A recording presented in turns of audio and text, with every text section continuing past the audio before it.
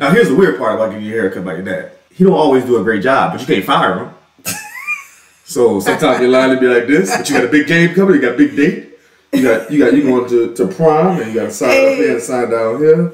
Or you got one of your, your sides, one of them way down here, the other one way up here. And you're like, bro, you losing it. You can't you can't What if he was you really like- got it no more, bro.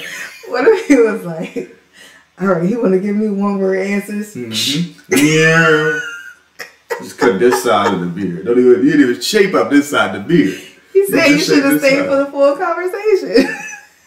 Look at half your mustache. You are you good? I got your scissors to cut the other side. This guy.